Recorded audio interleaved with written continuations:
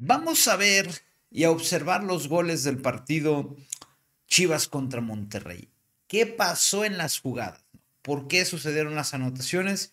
Que hay algunas cuestiones muy interesantes y muy puntuales que me parece vale la pena analizar. Así es que quédense aquí conmigo para que juntos pues veamos las circunstancias en las cuales se dieron los goles y que no nos quedemos nada más con, ah, es que la revuelta la o ah, qué golazo de Marín sino que podamos ver un poquito más allá en estas acciones. Soy Jesús Bernal, es un placer que me acompañen en esta ocasión. Muchísimas gracias por el favor de su atención, por suscribirse, comentar, compartir, dar like. Ya lo saben, me pueden encontrar en todas, en todas las plataformas como Jesús Bernal para que vayan y tengan acceso a muchísimo más contenido. Y sin más preámbulo, comenzamos con este video, con las últimas noticias de las chivas.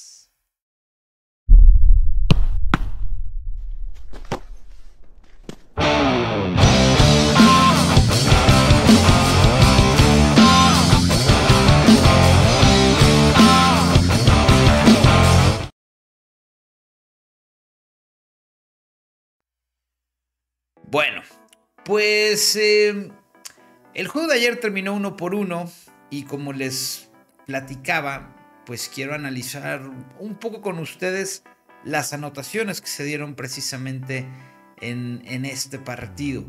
¿Qué, ¿Qué, fue lo que pasó y qué fue lo que alcanzo a percibir? Seguramente hay muchas más cosas, pero bueno, al menos esto es lo que yo alcanzo a percibir eh, en las anotaciones que se dieron el día de ayer en el duelo Chivas contra Monterrey.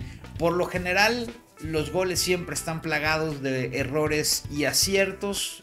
También por lo general nos quedamos con el último error o con los errores que se dan en la zona donde está cerca la pelota. Pero como les digo, siempre hay un montón de circunstancias que se dan.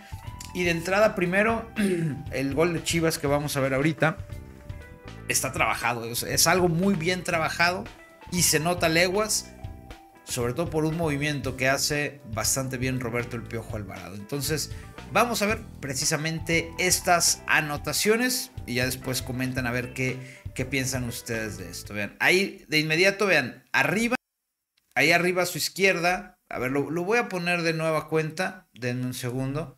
Lo voy a poner de nueva cuenta. Ojo arriba a su izquierda con el Piojo Alvarado. Ahí van a ver marcada esta situación, ven. Ahí está, se ve con la flecha. ¿Cómo es que el piojo, eh, qué es lo que busca? Va a ser un movimiento de atracción. Veanlo ahí donde está la flecha. Va a ir hacia adelante y luego hacia atrás. Y en ese movimiento le va a ganar a su lateral que es Gerardo Arteaga. Observen cómo eh, Arteaga se come la finta y Mozo le filtra perfectamente el balón al Piojo Alvarado. Vean. Ahí va la acción. Pisa hacia adelante, luego hacia atrás. Y ahí, ¿eso qué le permite? Eh, pues quedar, quedar en esta posición. Eh, pudiera pensarse que fuera de lugar, pero no. El central por izquierda de Monterrey, creo que es el Corcho Rodríguez, es el que termina por habilitar a Ricardo Marín en esta jugada. Obviamente, al hacer ese movimiento de atracción eh, del piojo, Marín en la carrera termina por ganarle a los, al central y al lateral que, estaban ahí al pendiente de su marca. Entonces, el central por izquierda es quien termina por habilitar. Después el el pase del Piojo es maravilloso con la pierna zurda y la recepción y la definición de Marín todavía mejor. Así es que se quedaron pidiendo fuera de lugar, no había tal. Ojo con la jugada del gol de Monterrey. Ojo con esta acción, porque todo mundo le echamos el tala, pero vean la serie de errores, ¿no? Primero aquí.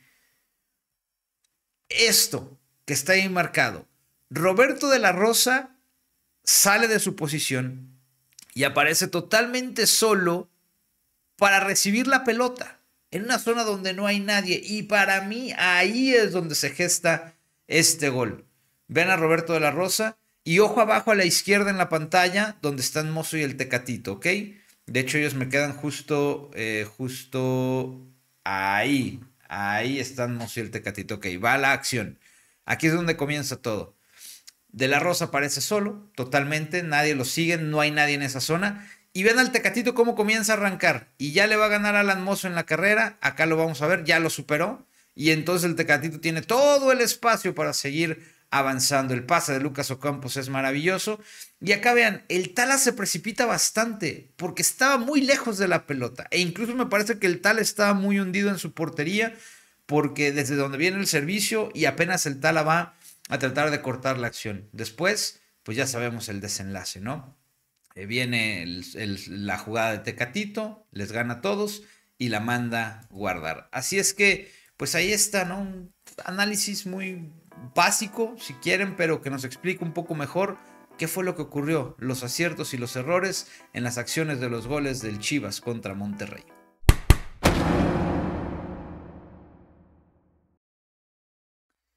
Y el técnico del Guadalajara, Fernando Gago, obviamente se fue molesto con el empate después de tener el partido prácticamente ganado. Veamos. Buenas noches, Alex Ramírez, estamos en vivo para Radiograma Deportes. ¿cuál es el discurso de un técnico cuando tiene pues, dominio pleno del partido para ganar y la forma en la cual sacan el empate mantienes una racha de 10 partidos sin perder en casa, pero lo que tengo entendido era el triunfo. ¿Qué le dice un técnico al equipo por la forma en la cual le sacan el triunfo? Pero bueno, buenas, noches, buenas noches a todos. A ver, creo que el transcurso del partido fue positivo para nosotros. Eh, habíamos controlado todos los circuitos de juego de ellos. No habíamos puesto el marcador en ventaja. Creo que eh, en el transcurso del partido en sí eh, teníamos el partido controlado no nos podemos quedar con solamente un error, creo que fueron cuatro errores, si mal no conté rápido, cuatro errores desde, desde el gol la jugada previa al gol, entonces son cosas para corregir. Y a ver, eh, hoy estamos todos con una sensación de bronca, de, de dolor porque fue el final del partido, pero nos queda seguir trabajando y tratar de pensar en el próximo partido.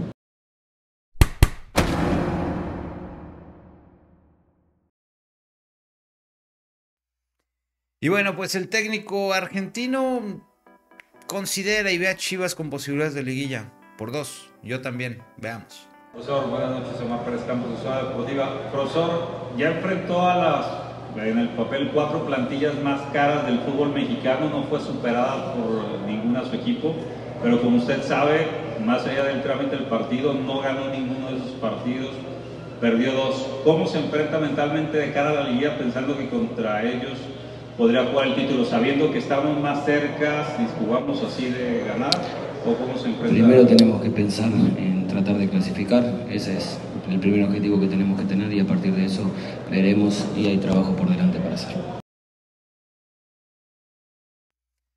Bien, ya para concluir, recordarles que hoy Chivas tuvo descanso y vendrá después el clásico tapatío la siguiente semana.